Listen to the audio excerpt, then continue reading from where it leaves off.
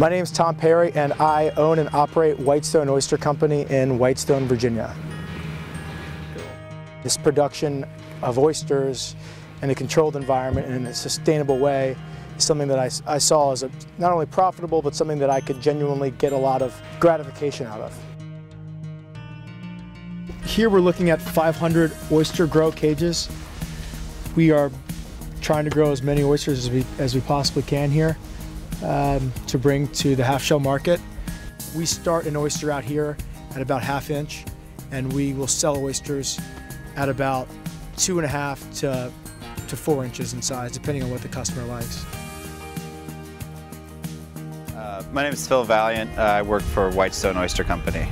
I think our oyster is above a lot of other oysters out there. Super strong shell, super plump. So the quality of the actual oyster is incredible, but also the flavor alone.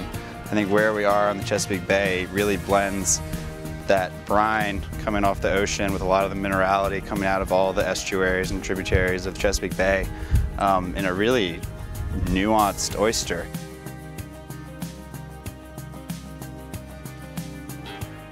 What I found with the floating cages is it allows you to grow oysters at the surface of the water column. There's more food for the oysters at the top of the water column.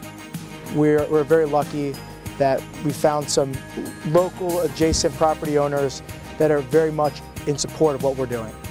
And grow, growing oysters, trying to promote the, and sustain the, the health of the Chesapeake Bay.